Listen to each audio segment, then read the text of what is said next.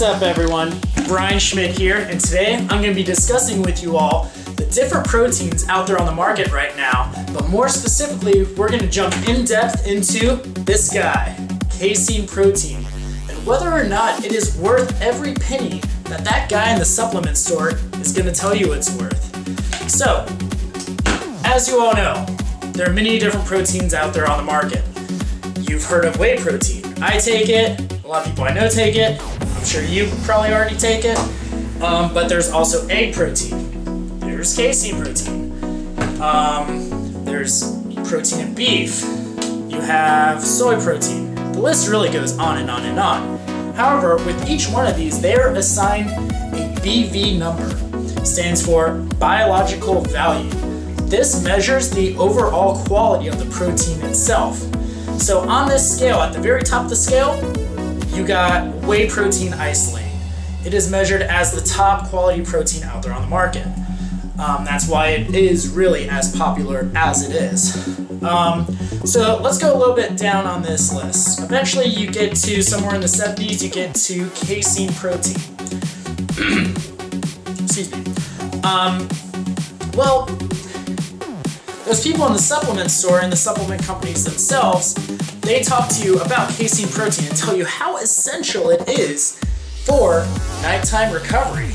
Um, they say that, you know, while you're sleeping your eight hours or so, that um, casein protein will help actually give nutrients, give your body protein throughout the night to keep it from catabolizing um, and losing all those gains that you worked so hard for earlier in the day at that gym session.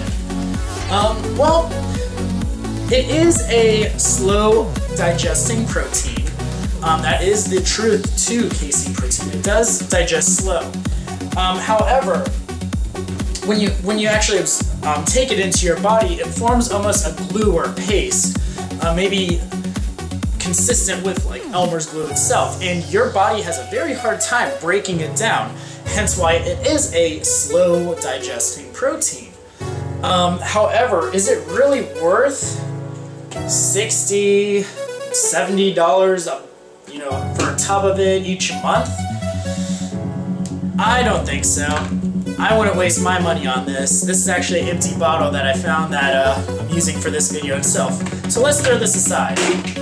Anyways um they tell you all this stuff. It is slow digesting protein. It's to help you overnight maintain your gains. However really um, as long as you're taking in the adequate amount of protein in your body throughout the day, you're going to still have your gains there. You're not going to just lose them overnight.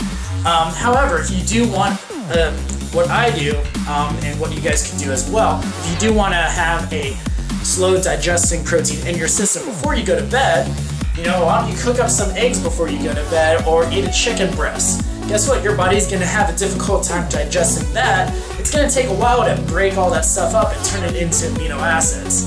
So, guess what? Also, added along with that, it is much more beneficial to your overall body itself. There's so many more nutrients and minerals in actual food itself than just taking a, you know, casein protein shake at the end of the night right before you go to bed. I've had friends that have taken casein protein before and they've complained of stomach problems as well from it. So do I take casein protein? No, I don't. If you have the money you want to spend on it and go ahead and take it, yeah, of course, um, any kind of protein in your system will help you maintain your gains. But to me, I don't think casein protein is really worth what all these supplement companies and all these guys working in the stores are telling you that it's actually worth. Me personally, I'm gonna stick to egg and whey protein, my two favorites. I'm gonna continue cooking my meals, my chicken breasts, you know, everything else that falls into that. And hope you guys do the same.